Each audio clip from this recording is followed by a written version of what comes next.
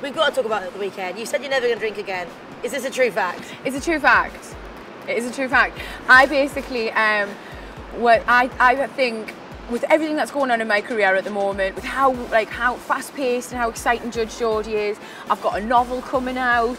Like honestly, I've got a novel coming out. Like people laugh at that, but I'm like, really, it's good. Don't giggle. Um, I've just got so much great stuff going on. That I can't afford to be hungover. So yeah, for the moment, I'm teetotal. Um, um, I'm embracing life, and I'm going to sort of like move forward with 2015 with sober head. How long is it going to last, babe? I think, I'm, why don't you have any faith in me? You should have some faith in me. I'm, I'm, I'm, yes, I'm in it for the long haul.